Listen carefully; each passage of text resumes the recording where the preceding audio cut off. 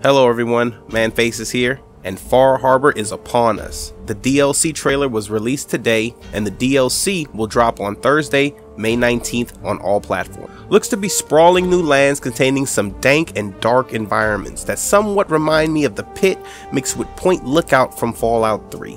I really like the spooky atmosphere the DLC is trying to convey, something I feel Fallout 4 was lacking significantly. Looks like there will be some new companions, but I also see Nick there, which makes me wonder. Normally you can't bring companions on the DLC, so I'm curious of the implications of having Nick there. Also, I hope that maybe we can help Nick out, maybe get him some new skin or something. The trailer seems to be only a teaser, but it did reveal some key information. Namely, we got some new monsters.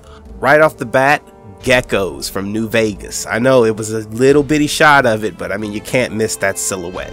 I saw some things that kind of look like lanternfish, and I'm guessing that they're really there to catch you while you're walking through the water if you're not paying attention to the glow. So maybe walking at night might be a little bit better than walking in the daytime if you're having to travel through the water. Mantises, although I don't think they're called mantises, but mantises from New Vegas, although they are considerably larger and more scary looking. But hey, I like that. And one more, it kind of looked like a Chaurus or a Chaurus Reaper from Skyrim, if you know what I'm talking about. Uh, one of the Falmer pets, you know, like the heavily armored slug looking thing. So I'm getting some heavy, heavy New Vegas nostalgia from this trailer. And that's really getting me hyped up. So for new weapons and armor, I did see some new weapons. I saw like a fishing hook. I believe that there's a couple of new guns, maybe two or three. But namely, I want to talk about are the armors I saw. Uh, that rickety looking scuba suit looks pretty cool. I really hope it works. Uh, I don't see why it wouldn't. I mean, there was Rebreather in New Vegas, so you just can't take a step back. I want to take a step forward. Let's get power armor in the water.